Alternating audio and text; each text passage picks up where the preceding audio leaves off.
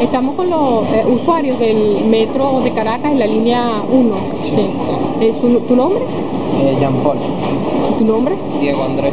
Eh, cuéntenme, eh, utilizan el metro, háblenme de las condiciones del estado del metro, eh, cuáles son las cosas que ven que están dañadas, háblenos un poco de su experiencia en el metro Caracas y, y también me gustaría eh, que nos respondieran que a pesar de que el metro en estos días ha tenido descarrilamiento, ha tenido accidentes, lo siguen usando.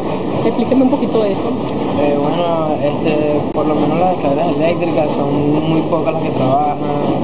El servicio de, la, de, la- de los tickets tampoco funciona bien. Eh, la limpieza dentro del metro, también Los olores. los olores, dejan que entre mucha gente a vender cosas aquí adentro y eso también causa más bululú de gente. O sea, no tienen un control con las cosas. Es algo que ellos ni siquiera saben qué están haciendo. Y tu experiencia en el metro, eh, a pesar de que las condiciones no están buenas, este, lo sigues usando. Lo sigo utilizando más que todo porque me resulta más cómodo para llegar al trabajo a cualquier sitio que necesite, aunque a veces se dificulta más que todo porque la gente se descontrola, se empieza a desesperar por la tardanza, entonces eso tampoco ayuda a los demás y hace que todo el mundo se ponga más.